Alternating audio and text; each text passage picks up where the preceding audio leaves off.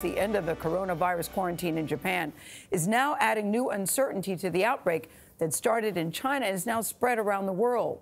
This morning, hundreds of passengers were allowed to leave a cruise ship where more than 600 other people have gotten sick.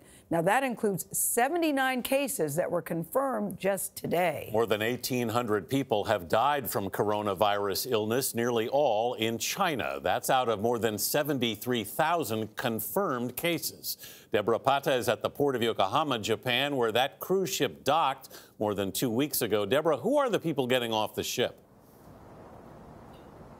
Well, over 500 passengers have been left off the Diamond Princess. They tested negative for the virus, and more will follow in the next few days. There are still over 100 Americans either in hospitals or on board the ship. They've been banned from entering the U.S. for 14 days after their quarantine or hospitalization ends. Japan has been criticized by some medical experts who say their quarantine methods led to a further spread of the virus.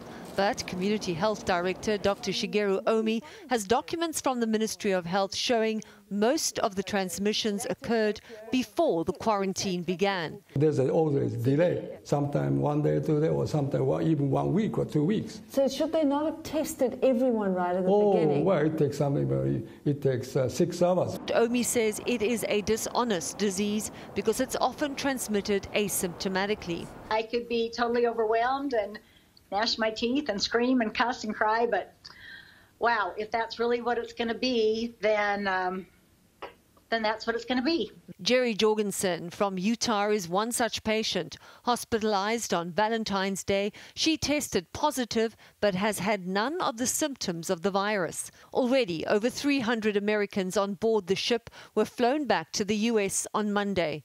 They are in quarantine around the country to prevent the spread of coronavirus in the U.S.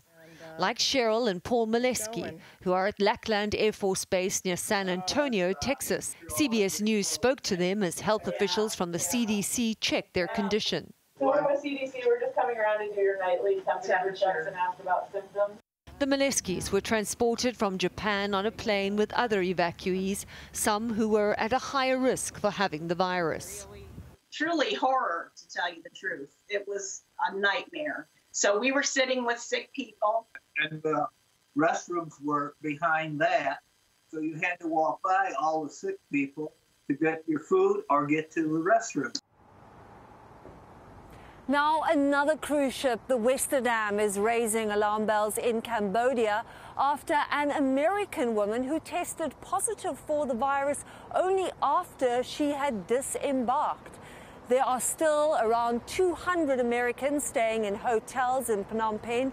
U.S. officials are tracking them and another 100 on board that ship. Tony? Deborah Pattis for us in Japan. Deborah, thank you very much.